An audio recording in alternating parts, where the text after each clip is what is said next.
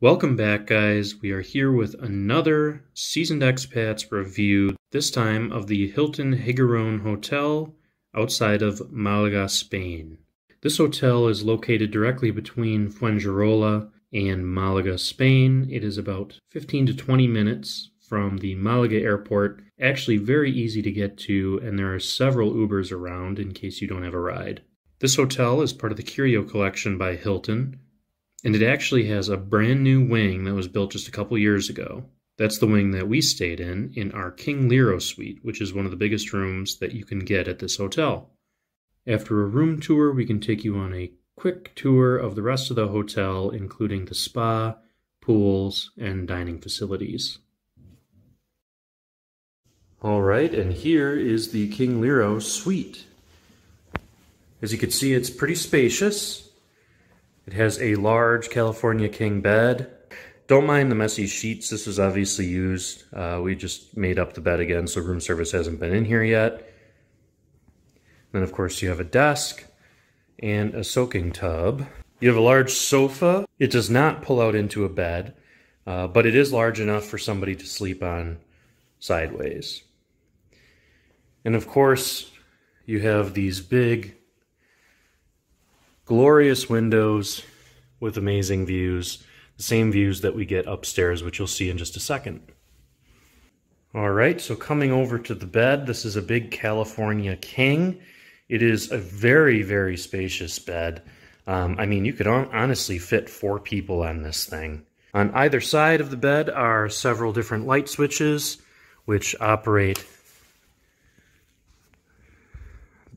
operate the lights throughout as well as the mood lighting.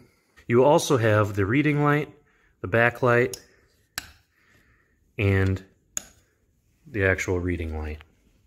And that's on either side of the bed. You also have a USB cord and then an EU plug on either side of the bed. You also do have these nice nightstands on both sides of the bed as well, so you can put your phone or anything else on there. Going from the bed over to the desk area. It's very spacious. I actually did some work here when we were staying here. And of course it has the outlets you need as well as two USB ports. You do have a TV in this room. It is a smart TV. You can get on YouTube, the internet, anything you really need to, uh, your Netflix as well. So that's very convenient. Another nice feature of this area is this vanity mirror which it is a just a mirror, but if you want to sit here and do your makeup, you can also turn on the light and be lit up. Walking now into the wardrobe and bathroom area, don't mind the towels and bathrobes. You do get two bathrobes when you get this room, so those will be available to you uh, as well as slippers. So you have this massive wardrobe. It's built into a couple different compartments. The first one, uh, you can hang items here, but you also have an iron and ironing board, as well as two small drawers. In the second compartment here is where you'll hang all of your clothes. You have a small luggage rack, as well as plenty of hangers for all of your shirts and pants.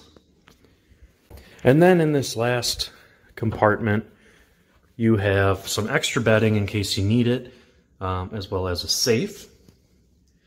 And then you also have the coffee maker, as well as different types of coffees and teas, a small fridge, and a hair dryer. This fridge does come fully stocked, as you can see, with beers, juices, waters, alcohol, and some snacks. These don't come with the room, you have to pay for them. Coming from the wardrobe now, over to the bathroom area, you can see you have a nice dual vanity with shelving underneath and the double mirrors, both with lights on them. You also have overhead lighting, so this is all very well lit.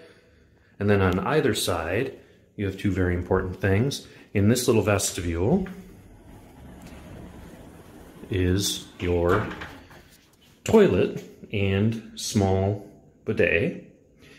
And then on the other side of the vanity is the vestibule with your shower.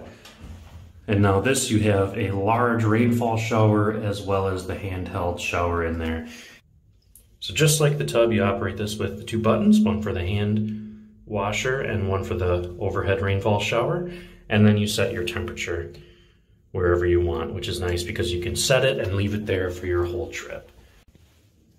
And then, of course, the most important part is upstairs. And if someone were to ask you why you would get a suite like this, this is the answer.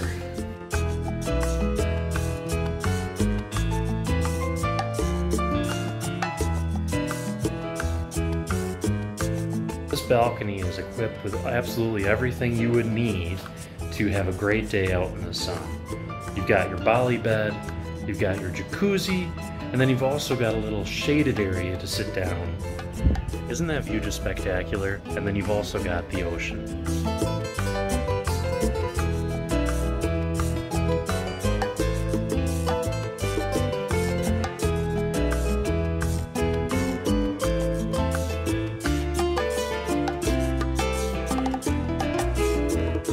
You might also be thinking, hey, why do I need a jacuzzi in the south of Spain? Well, to be honest, we've actually made a lot of use of it, especially in the evenings when it cools down. You can also completely change the temperature of these jacuzzis as well, so if you don't want to sit in 104 degrees, turn it down. We were able to book this hotel room at a rate of 350 euros per night, which is actually very cheap for this type of hotel room.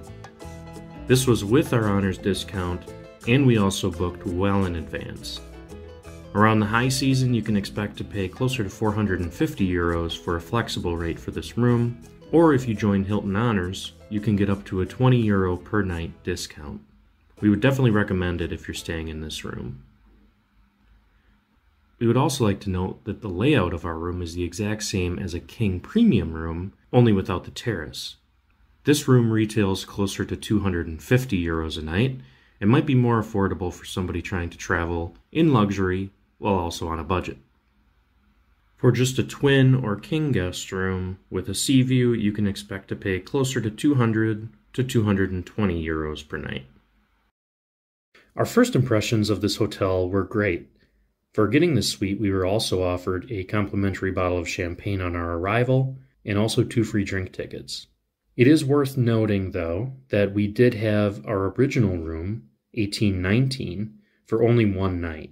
It was quite windy out, and that room is located near an emergency exit, which unfortunately turned into a wind tunnel in the middle of the night, and we just could not get any sleep. There's also a large spa located in this resort, which includes jacuzzi treatments, a spa circuit in a dynamic pool with pressure jets and different temperature pools, and then, of course, they also offer massages. Catherine actually got one of these massages and said it was a very good experience. It cost about 62 euros for her massage.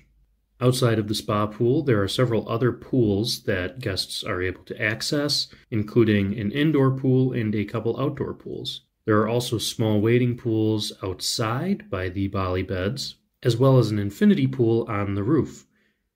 This infinity pool also offers Bali beds that you can rent, as well as a fully stocked bar. However, to get one of these beds upstairs, you need to put down a 50 euro deposit, which can be used towards drink and food purchases at the bar. Another thing worth mentioning about the location of this hotel is that it is very high up on a hill. You have to walk down about 20 minutes to get to the beach, or you can take the free shuttle.